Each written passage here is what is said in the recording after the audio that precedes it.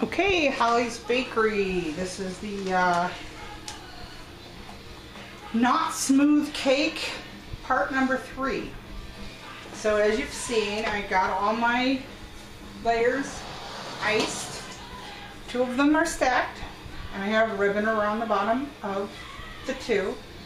Now what I want to show you is I want to show you that I'm going to put this one, I have dowel rods, and remember we went over this in the last one.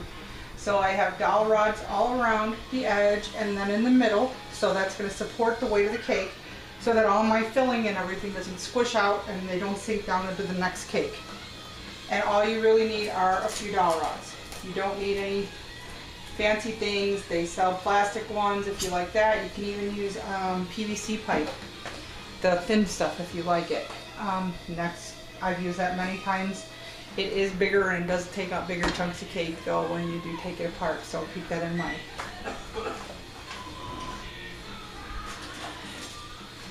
So what I'm going to do is I'm going to lift this little guy. I usually take an offset spatula to get up under there, especially if you iced your cake smooth. This one's not smooth, so if I make a fingerprint in it or something, it's not going to matter. But if I did ice a cake smooth, I would either use one or two offset spatulas. Oops, see, because that stuff happens.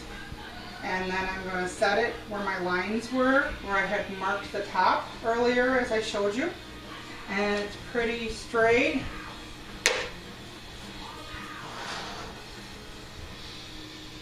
And because I can fix it a little now, I can actually push it. that works. It's going to have flowers all over it when I get to the place. So, I'm going to put it back on my turntable.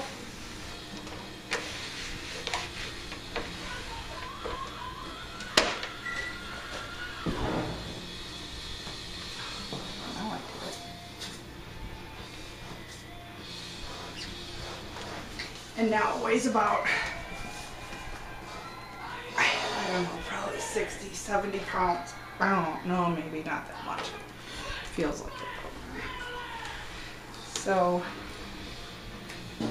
I just stuck my finger in the side of it and it's not cool. So I'm gonna go back and I'm gonna pull this, tuck a little icing in there, fix what I did. Pull my ribbon back. I took some icing and I actually glued my ribbon. Then I take, this is a, a rag that's designated only for wiping my boards and stuff. So, just a little on the edge right there. Then I'm gonna take, and I really should try to smooth this out before I put the ribbon on. It's kind of at this point almost impossible. So it is gonna be what it is because they wanted it iced rough. They didn't want a smooth ice cake. So I find where I started my other ribbons, because this is the back of my cake. This is not going to be the front of my cake here now, because this is where my ribbons begin and they end. I have the shiny side, of, I'm using the shiny side of my ribbon. And I'm going to put my ribbon, I'm going to get it on there straight as possible with the lumpy frosting. I'm going to run my finger around.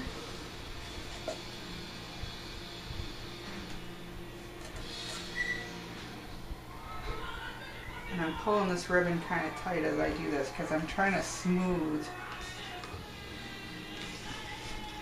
that frosting.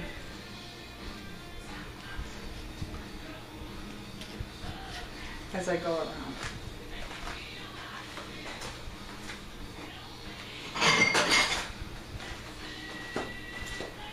And then I'm going to cut it.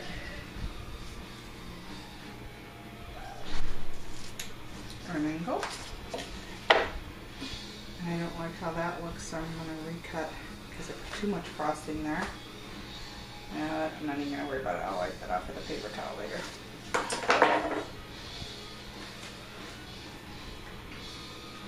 I know this is a crazy cake, but this is something that anybody could do. So if you're on a budget and you need to do a wedding cake, make three cakes, rough ice them, stack them like this.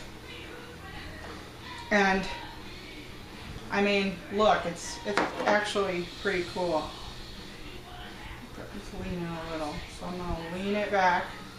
So that one's got quite a bit of filling in it, and I want to fix that. Smooth my finger around it a little bit.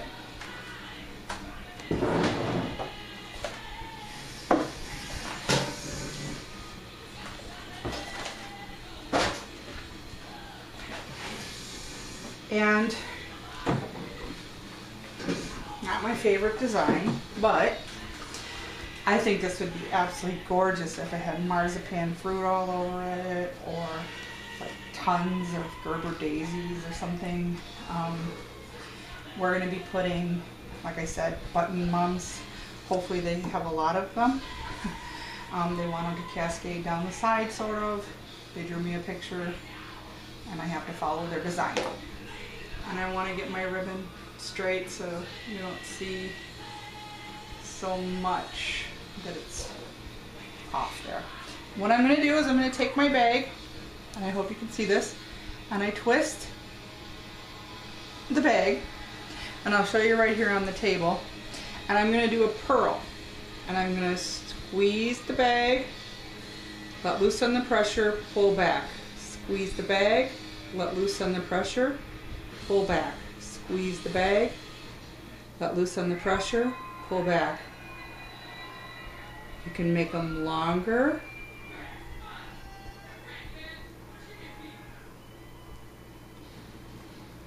Or you can make them close together. It's up to you. So that's my pearl border.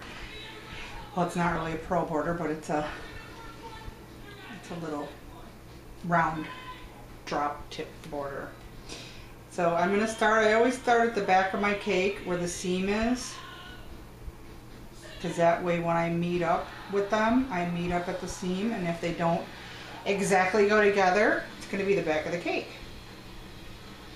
And I'm going to sit here and I'm going to go around.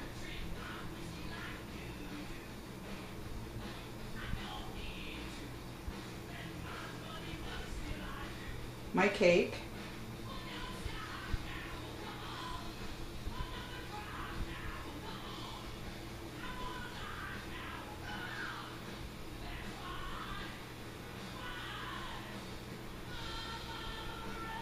This is a tip number seven. You could use any round tip.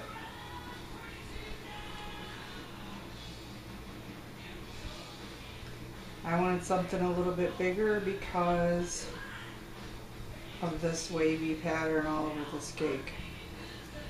So I think it needed something that's going to be bigger up here.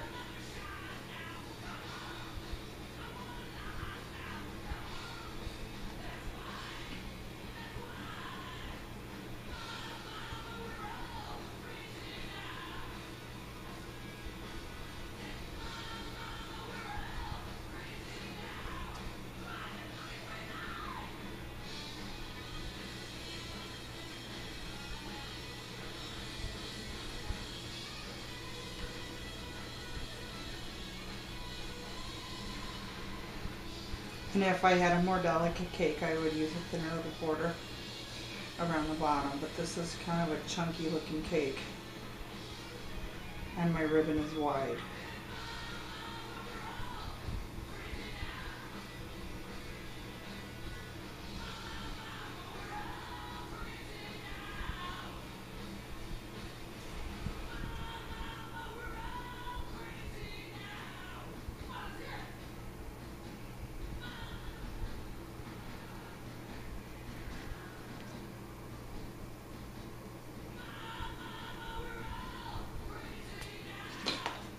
Air bubble.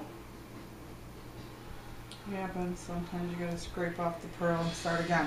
So see where I ended here? It's a little, nobody's gonna notice that though.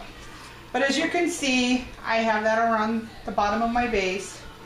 And then I'm gonna go around each layer and I'm gonna do that and I'm gonna hope that you'll be able to notice it with all these lumps on the icing. Because I really want to give it a little bit of a traditional look. I don't want it to be so on finished looking.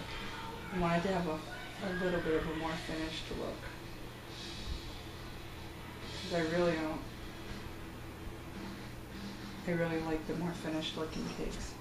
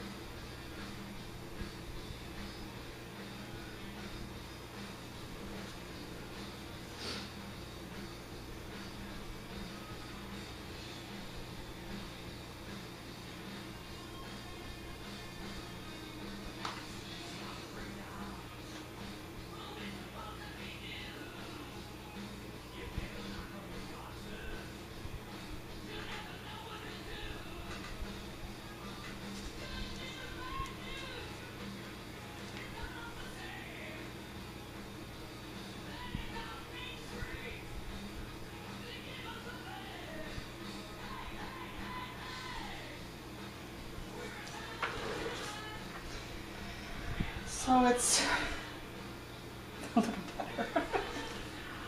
Crazy cake. I'm not sure about this one. Actually, I think it's going to be quite stunning once it gets out in the room and it's going to have the flowers all over it and spread around. And I'm going to actually bring the, um, I'm going to actually bring the video camera, I think, just so that I can take a picture of it when it's in the room and you'll see the difference between sitting here making it and when you actually get them in the room and you get all the flowers on it and around it. The hard part now is actually getting it there without it falling over. And um,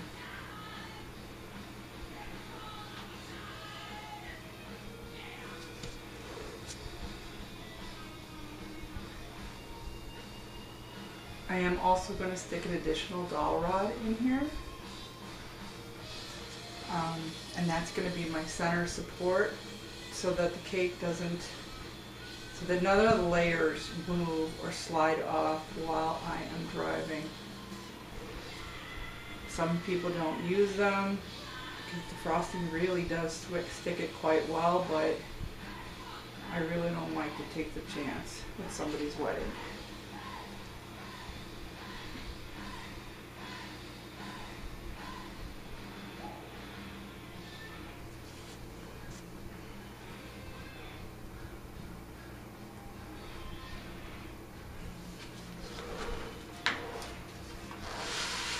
So there you have it.